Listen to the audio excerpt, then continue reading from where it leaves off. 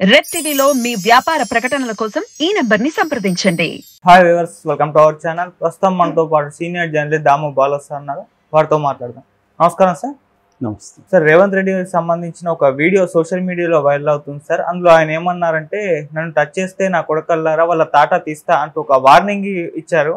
So ఇప్పుడు ఇది చాలా మంది బీఆర్ఎస్ నేతలు ఏమంటున్నారంటే ఇది కేటీఆర్ గారిని కేసీఆర్ గారిని ఉద్దేశించి అయిన ఈ వ్యాఖ్యలు చేశారు అని అంటున్నారు. అసలు నిజానికి ఈ వ్యాఖ్యలు ఎప్పుడు చేశారు? మరి దీని పట్ల మీ ఒపీనియన్ ఏంటి? యా నిన్న మహబూబ్ నగర్లో ఆయన ప్రజాదీవెన సభలో పాల్గొన్నారు.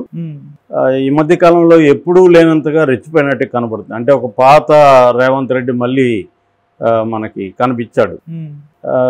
మరి ఆయనకి ఎందుకు అంత కోపం వచ్చింది అనేది చూడాలి. బట్ ఆయన మాట్లాడింది ఏంటంటే కాంగ్రెస్ ప్రభుత్వాన్ని టచ్ చేసి చూడండి. అగ్ని కణాలై మానవ బాంబులై వస్తాను.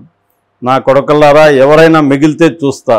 ఒక్కొక్కడిని పండబెట్టి తొక్కి పేగులు బయటికి తీసి మెళ్ళలో వేసుకుని ఊరేగుతాం. ఇది జస్ట్ ఇంకా చాలా మాట్లాడాడు కానీ బేసిక్గా ఈయన మాట్లాడింది ఇది. ఎవరిని అని డైరెక్ట్గా ఉద్దేశించలేదు కానీ అందరూ కూడా ఏమంటున్నారంటే ఈ మధ్య కేటీఆర్ హరీష్ రావు కేసీఆర్ ఈ ముగ్గురు గట్టిగా మాట్లాడుతున్నారు. అందులో ప్రధానంగా కేటీఆర్ హరీష్ రావు చాలా తీవ్రంగా రేవంత్ రెడ్డి మీద విరుచుకుపడుతున్నారు. కేసీఆర్ అంత బయటికి రావట్లేదు కాబట్టి ఆయన మాట్లాడట్లేదు. ఆ నల్గొండ సభలో మాట్లాడిందే. కానీ కేటీఆర్ హరీష్ రావు తీవ్రంగా మాట్లాడుతున్నారు. వాళ్ళని ఉద్దేశించి ఈయన అన్నాడు అనేది ఇంటర్నెట్లో సోషల్ మీడియాలో పెడుతున్నారు అనమాట సో ఎవరిని ఉద్దేశించినా ఆయన అనిందైతే బీఆర్ఎస్ నాయకులనే కాబట్టి బీఆర్ఎస్ నాయకులు ఇంకా వాళ్ళే కదా. కాబట్టి వాళ్ళనే అనుకోవాలి. బట్ ఇంత తీవ్రంగా ఒక సీఎం మాట్లాడాల్సిన అవసరం ఉందా అనేది వాళ్ళ చర్చ. అయితే ఆయనకి ఎందుకు అంత కోపం వచ్చింది? ఏ ఏమై ఉండొచ్చు అనేది చూసినప్పుడు ఈ మధ్య కేసీఆర్ కూడా ఏం మాట్లాడాడంటే ఈ ప్రభుత్వం ఎక్కువ కాలం ఉండదు అనేది మాట్లాడాడు. అంతకుముందు దేవన్ నుంచి కూడా బీఆర్ఎస్ వాళ్ళు కడియం శ్రీహరి స్టార్ట్ చేస్తే అక్కడి నుంచి కూడా రెండు నెలలు ఉండదు ఒక నెల ఉండదు త్వరలోనే కూలిపోతుంది. మొన్న కూడా ఎవరో ఒక ఎమ్మెల్యే అన్నాడు కేసీఆర్ కానీ గట్టిగా అనుకుంటే ఇది ఇమీడియట్గా కూలిపోతుందని ఇలా మాట్లాడుతున్నారు ఒకవైపు. అంటే ఈ ప్రభుత్వాన్ని మేము కూల్చేస్తాం అన్న పద్ధతిలో వాళ్ళు ఇండైరెక్ట్గా మాట్లాడుతున్నారు. అడిగినప్పుడేమో మేమేం కూలము కాంగ్రెసే కూలిపోతుంది అనేది చెబుతున్నారు రెండవది మొన్న కేటీఆర్ ఏమన్నాడంటే రేవంత్ రెడ్డి బీజేపీతో కుమ్మక్క అవుతున్నాడు. బీజేపీతో కుమ్మక్క అవడం వల్లే మోడీని పెద్దన్నయ్య అని పిలు పిలిచాడు. సో కుమ్మక్క అయిపోయి ఈయన మరో షిండే అవుతాడు ఇక్కడ. షిండే అయ్యి చీల్చి దీన్ని బీజేపీలోకి వెళ్ళిపోతాడు కాంగ్రెస్ పార్టీని చీలుస్తాడు అనేది కేటీఆర్ అన్నాడు. దానివల్ల కూడా తనకు కోపం వచ్చి ఉండొచ్చు. అంటే మేము వచ్చి మూడు నెలలు కాలేదు మాట్లాడితే మీరు మా ప్రభుత్వం కూల్చేస్తాం కూల్చే మీరు పదేళ్ళు పరిపాలించారు. కనీసం మమ్మల్ని ఐదేళ్ళు కూడా పరిపాలించనివ్వకుండా డే వన్ నుంచి మా ప్రభుత్వాన్ని కూల్చేస్తామనో కూలిపోతున్నానో మాట్లాడడం ఏంటిది అనేది ఆయన కోపం వచ్చి ఉండొచ్చు. కోపం రావడానికి ప్రధాన. రెండవది ఏంటంటే మామూలుగా ఏ కొత్త గవర్నమెంట్ వచ్చినా ఒక ఆరు నెలల పాటు ఒక వాళ్ళకి టైం ఇస్తారు. ఎందుకంటే అది పెర్ఫామ్ చేయడానికి టైం పడుతుంది. మా ముందు అసలు కడుక్కోవాలి. గత ప్రభుత్వాలు అనేక అవకతవకలు ఉంటాయి. వాటిని అంతా క్లీన్ చేసుకోవాలి. తర్వాత విషయాలను అర్థం చేసుకోవాలి. అర్థం చేసుకొని నిర్ణయాలు తీసుకోవాలి. ఒక నిర్ణయం తీసుకోవాలంటే డేటా కలెక్ట్ చేయాల్సి ఉంటుంది.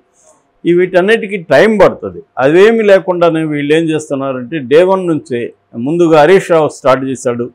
మీరు హామీలు నెరవేర్చండి నెరవేర్చండి అది చేయలేదు ఇది చేయలేదు ఆ విగ్రహం కట్టలేదు ఇది చేయలేదు ఒరే వచ్చి మూడు నెలలు ఇంద్రబాబు మీరు పదేళ్ళుగా చేయలేని పనులు మాట్లాడకుండా ఇప్పుడు మూడు నెలలు లోపలే మీరు కాంగ్రెస్ అది చేయలేదు ఇది చేయలేదని దూకుడుగా వెళ్ళిపోతున్నారు.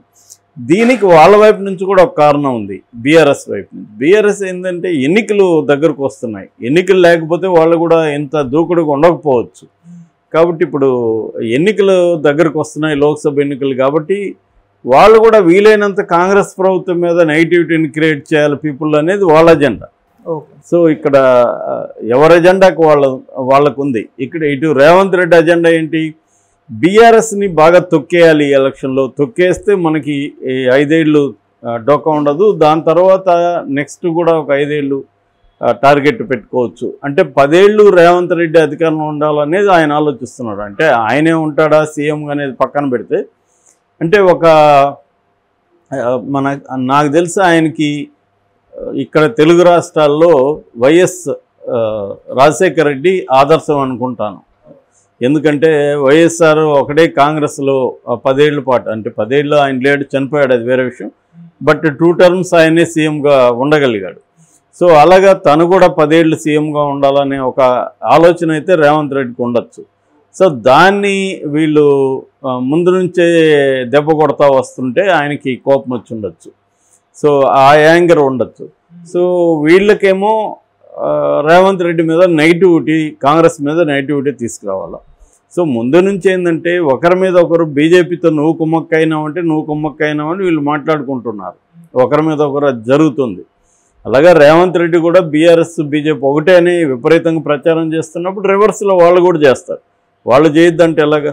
సో పిఎంతో కూర్చొని పిఎంతో మంచిగా ఉండడం ఎందుకంటే పక్క రాష్ట్రంలో కాంగ్రెస్ ప్రభుత్వం మోడీకి యాంటీగా చాలా తీవ్రంగా విరుచుకుపడుతుంది.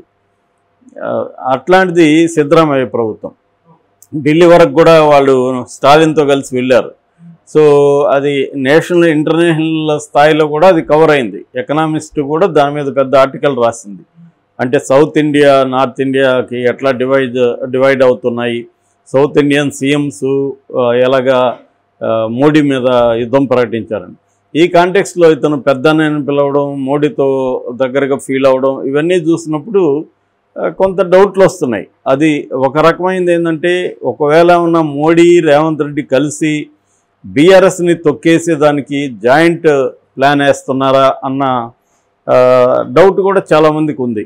ఎందుకంటే మోడీ ఉద్దేశం ఏంటంటే ప్రతి రాష్ట్రంలో కూడా ఏది వీక్గా ఉంటే ఆ పార్టీని తొక్కేసి ఆ ప్లేస్లోకి తాము రావడం అనేది వాళ్ళు స్నేహపూరితంగా చేస్తారు లేదా శత్రుపూరితంగా చేస్తారు. అంటే వాళ్ళతో పొత్తులు పెట్టుకున్న దెబ్బతీస్తారు లేదా వ్యతిరేకంగా ఉన్న దెబ్బతీస్తారు. మనం తమిళనాడులో చూస్తాం ఏఐడిఎంతో పొత్తులు పెట్టుకొని దాన్ని దెబ్బతీయగలిగారు. సో అలాగా ఉంటుందన్నమాట. అందుకని ఇక్కడ కూడా ఏంటంటే కేసీఆర్ యాక్చువల్గా పొత్తులోకి వెళ్దామని ట్రై చేశాడని చెప్తున్నారు. కానీ మోడీ దానికి ఒప్పుకోలేదని అంటున్నారు. అందుకని రేవంత్ రెడ్డితో మోడీ మంచిగా ఉండి సో రేవంత్ రెడ్డి ద్వారా రేవంత్ రెడ్డి భుజం మీద తుపాకు పెట్టి ముందు కేసీఆర్ సంగతి తేలిస్తే తర్వాత రేవంత్ రెడ్డి సంగతి చూద్దాము అన్న ఒక ఆలోచన వాళ్ళకున్నట్టుగా వాళ్ళకు ఉన్నట్టుగా మనకు కనబడుతుంది. సో ఈ నేపథ్యాన్ని మనం అర్థం చేసుకోవాలి. ఈయన మాట్లాడిన వెనక. ఈయన మాట్లాడడం అయితే ఒక సీఎం స్థాయిలో ఇలా మాట్లాడడం కరెక్ట్ కాదనేది అందరూ చెప్తున్నారు. ఆయన కూడా ఆలోచించాలి. ఆ పార్టీలో వేరే వాళ్ళు మాట్లాడితే పర్లేదు కానీ సీఎంఏ నేను మిమ్మల్ని తొక్కదీసి తోలుదీసి మీ పేగులు బయటికి తీసి నేను పేగులు వేసుకొని ఊరేగుతానంటే అది వినడానికి కూడా చాలా ఇబ్బందిగా ఉంది. రేవంత్ రెడ్డికి రేపు పొద్దున రాబోయే కాలంలో కూడా ఈ ప్రాబ్లం రాబోతుంది. ఆయనకి నెగిటివిటీ ఎక్కడ వస్తుందంటే ప్రజల్లో నువ్వు అంతకుముందు అంటే మాట్లాడావు నువ్వు ఇప్పుడు ఒక సీఎం అయినావు. సీఎం అయినప్పుడు నువ్వు ఇటువంటి భాషను వేరే వాళ్ళకి వదిలేసి నువ్వు హుందాగా స్పందించాలి కానీ నువ్వే వే ఒక- వాళ్ళ భాషని నువ్వే మాట్లాడితే అదంత శోభించదు అనేది ప్రజలు గమనిస్తుంటారు కదా. ఇప్పుడు కేసీఆర్కి కూడా అదే ప్రాబ్లం. కేసీఆర్కి కూడా ఏం జరిగింది? ఆయన దుడుకుతనం నిరంకుశంతగా ఉండడం విలేకరులను కూడా ఎగతాలు చేసి హ్యూమిలియేట్ చేసి వాళ్ళు మాట్లాడడం ఇప్పుడు ఒక విలేకరి తనకు తెలియచ్చు నీ అంత నాలెడ్జ్ అతనికి ఉండకపోవచ్చు. ఆ ప్రశ్న ప్రజల్లో ఉన్న ప్రశ్నలే కదా అతను అడుగుతుంటాడు. ఎందుకంటే వాళ్ళు తిరుగుతూ ఉంటారు కాబట్టి ప్రజల్లో ఎటువంటి డౌట్లు ఉన్నాయో అడుగుతారు. దాని ఒకవేళ నీకు అది ఇబ్బందికరమైనా కూడా బాధ్యతగా సమాధానం చెప్పాలా? లేకపోతే నేను సమాధానం చెప్పదలుచుకోలేదని చెప్పాలి కానీ అతన్ని హ్యూమిలేట్ చేయడం దానివల్ల ఇతనికి ఏమొస్తుంది? అంటే చాలామందిలో కూడా ఇటువంటి ఒక ధోరణి ఉంటుంది. తమకంటే బాగా తక్కువ స్థాయి వాళ్ళని చిన్న వాళ్ళని హ్యూమిలేట్ చేసి వీళ్ళు ఆనందిస్తుంటారు. ఎందుకంటే ఈక్వల్ వాళ్ళని హ్యూమిలేట్ చేస్తే వర్కౌట్ అవ్వదు కదా. సో అలాగా రేవంత్ రెడ్డి కూడా ఈ స్థాయి భాష మాట్లాడాల్సిన అవసరం లేదు. కారణాలు ఏమైనప్పటికీ కూడా ఎందుకంటే సామాన్య ప్రజలు తటస్థులు చాలామంది ఉంటారు. వీళ్ళు అబ్జర్వ్ చేస్తుంటారు రేవంత్ రెడ్డిని కూడా. ఇతను ఎలా మాట్లాడుతున్నాడు పబ్లిక్ పెర్ఫార్మెన్స్ ఎలా ఉంది గతానికి ఇప్పటికి తేడా వచ్చిందా? ఇవన్నీ ఆలోచిస్తుంటారు. సో అవన్నీ ఆయన పరిగణలోకి తీసుకొని మాట్లాడాల్సిన అవసరం అయితే ఉంది.